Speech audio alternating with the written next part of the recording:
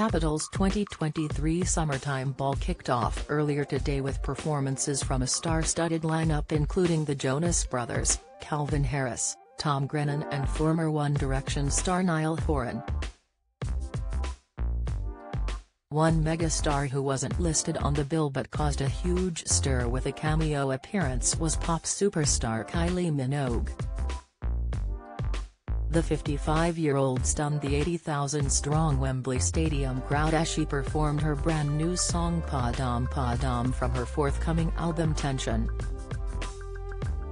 With the crowd in the palm of her hand, Australian Kylie then treated fans to a rendition of her 2001 hit Can't Get You Out of My Head. Kylie stunned as she took to the stage in a bright red dress that featured daring waist-high splits on either side. She added to the glam by donning a pair of knee-high boots and matching PVC gloves, and completed her look with a red lipstick, whilst wearing her golden dresses down tinged with red streaks.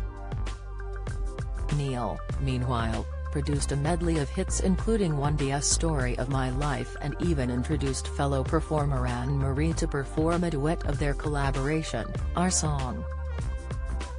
Speaking of Anne-Marie, the 32-year-old marked her own appearance with a diamond ring on her wedding finger, amid her relationship with boyfriend Slow Slowthai, who also attended the bash.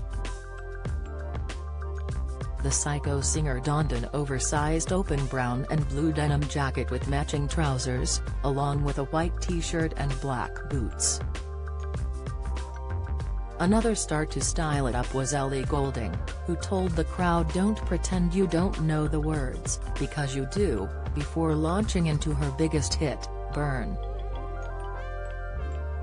The 36-year-old opted for an iridescent green two-piece ensemble featuring a single shoulder top and shimmering cargo pants.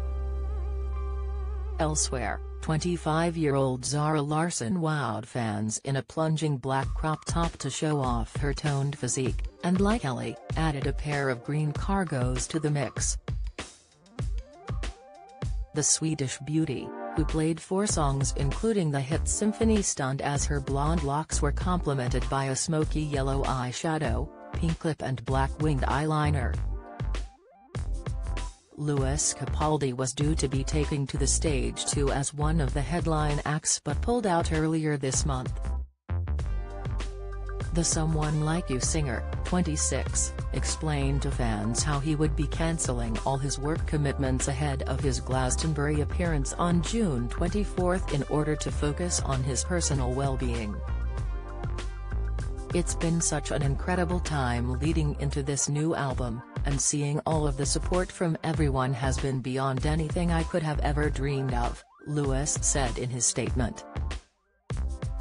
That said, the last few months have been full on both mentally and physically, I haven't been home properly since Christmas and at the moment I'm struggling to get to grips with it all.